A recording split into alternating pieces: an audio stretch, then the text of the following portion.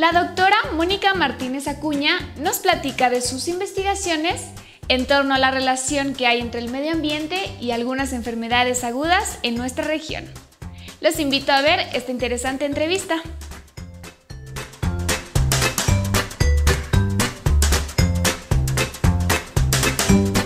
Actualmente soy encargada del Laboratorio de Epidemiología Ambiental, donde estamos desarrollando diferentes líneas de investigación con el fin de dar respuesta a la diversa problemática de salud que hay en el estado de Zacatecas. Estas líneas de investigación se enfocan en la epidemiología ambiental utilizando herramientas de la ciencia de datos.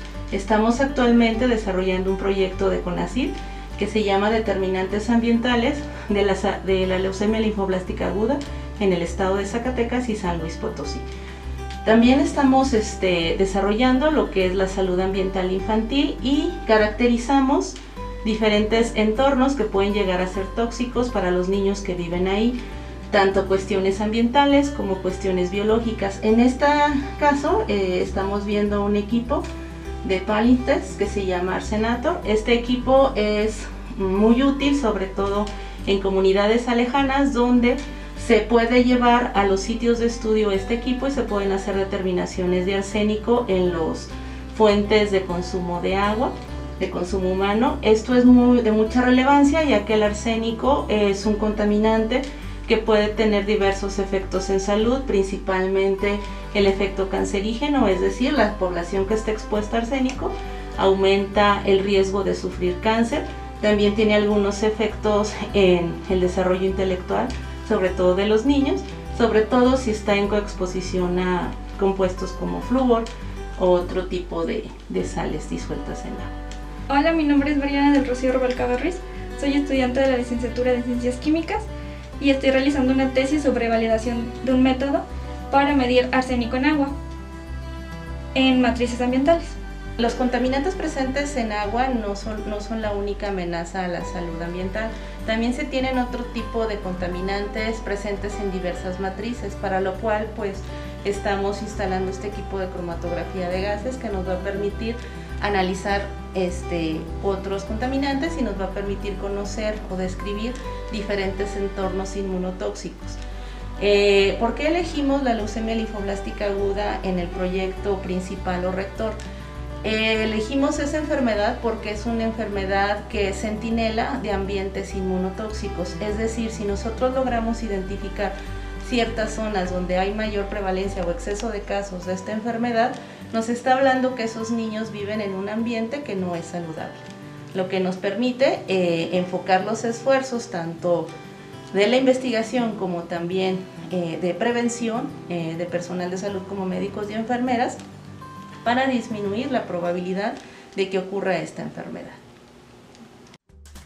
El Laboratorio de Neurofisiología de la UAS investiga las áreas del cerebro que tienen relación con nuestra manera de comer. ¿Quieres saber para qué?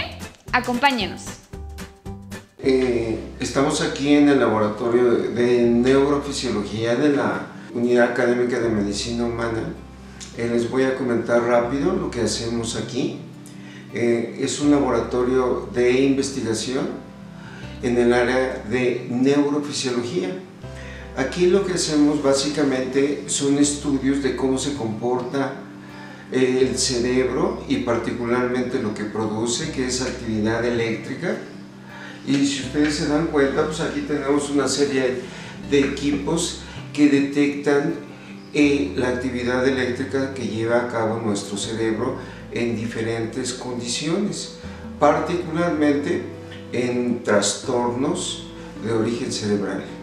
Entre ellos podemos ver que eh, eh, podemos hablar un poco de un proyecto que tenemos hoy en, eh, en curso que es relacionado con el comportamiento de nuestro cerebro en el apetito y la saciedad.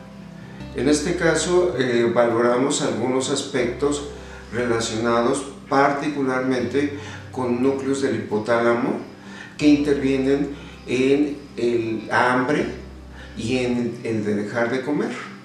De tal manera que eh, eh, podemos llevar a cabo con el equipo ya sea estudios en humanos o tenemos otro equipo de este lado que está acá que es para llevar eh, estudios con modelos animales. En este caso es muy importante considerar que el problema de la obesidad, aunque tiene muchas aristas, el hecho es que hay ciertas conductas que están básicamente relacionadas aquí en el cerebro o llevadas a cabo aquí en el cerebro.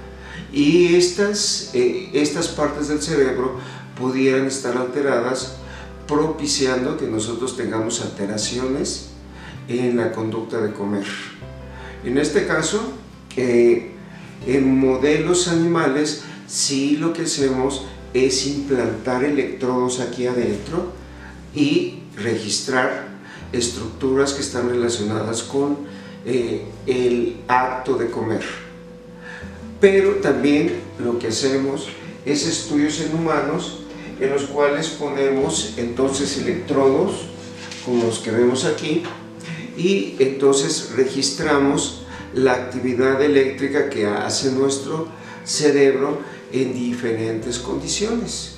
Por ejemplo, si nosotros entonces tenemos hambre, entonces aquí capturamos la actividad eléctrica, la registramos aquí en este aparatito que ustedes están viendo y entonces podemos en esta computadora registrar qué es lo que está haciendo nuestro cerebro, particularmente cuando nosotros estamos en una condición. Eso es lo que hacemos en este laboratorio. Eh, cuando quieran, eh, gustosamente pudieran ustedes asistir y explicarles no solamente lo que hacemos en, eh, en nosotros los seres humanos, sino también lo que hacemos en los animales. En este caso, esto es lo que hacemos en el laboratorio de neurofisiología de la Unidad Académica de Medicina Humana.